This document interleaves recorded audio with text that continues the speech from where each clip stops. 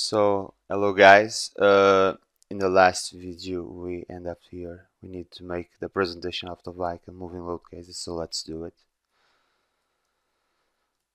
First of all, sorry.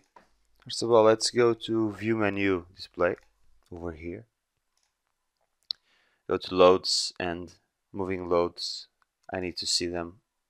Make this visible, okay? Apply. Now we need to choose the moving crane load here and activate this and this. Sorry about that, this one here. And there we go. We have here the moving load and if I turn this off you can see this very you can see this green thick line which is just the root of the routes of this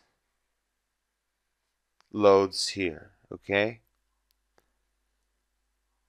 You may see that okay? I think you've got the idea behind this presentation. So let's go let's select the current component. Will be component number four here. Oh sorry component number four. Also you may check these little forces here the braking forces. I think you'll need we'll have a little difficult to see that but they are here as you may see. Okay? The braking forces. Uh, now let's go to load select case component. I could also press this. I could go to load select case component. That's what I have done select case number four okay let's close. Uh, no I don't need to close. I need to go to loads set case component case number four animation and start an animation. And you may see that robot makes a very cool animation of the load on his several components step by step shown here okay? I think you got the idea. Now I'm going to stop this close close this. Once again go back to component number four. Uh, okay let's go to the analysis the results analysis. Let's go to here diagram for bars. Moving crane load no I'm sorry I'm going to results here results over here. Okay I'm going to select the moving crane load now I'm going to turn on the MY moment, apply, and there you have all the bending moments on the several elements of the structure and I'm going also to turn on the deformation. And look what I can do now. I can make an animation out of this.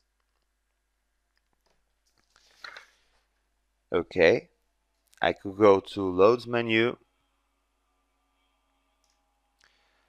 this component and just press this button create an animation.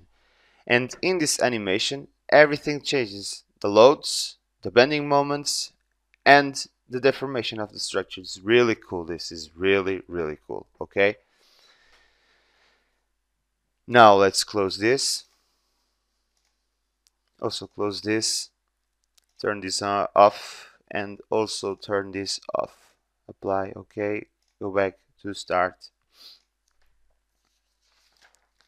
And in the next in the next video we will be doing and we will be talking about one thing called influence lines. Uh, I, I don't think that it is exactly what you are waiting for but we will talk about that in that later movie.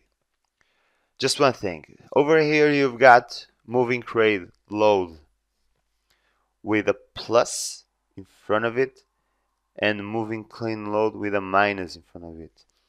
I'm not going to worry about this because we are going to talk about this in a later movie, okay? You don't need to worry about that. You, you, you, you just need to understand that this moving load case is a compound, let's say. Let's put it that way. It's a compound load with 10 different components. Okay. And when you've got loads like this, you can make animations, you can change the position, and you, you can actually design all the elements based on this compound load. So thank you for watching.